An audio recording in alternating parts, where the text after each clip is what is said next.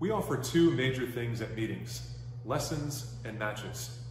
In this video, I'd like to provide you with some basic information about how the matches work.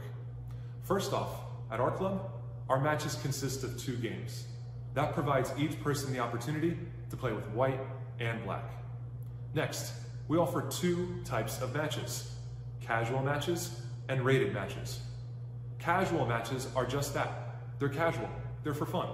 They're not gonna have any impact on your club rating. The only thing we track with casual matches are wins, losses, and draws. Rated matches, on the other hand, will impact your club rating.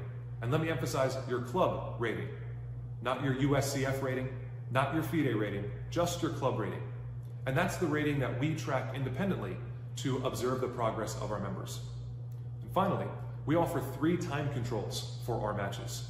We offer untimed matches, we offer rapid matches that are 15 minutes with a 10 second increment, and we offer blitz matches that are five minutes with a three second increment. Thank you so much for your interest in the Fishhawk Chess Club, and we hope to see you at the next meeting.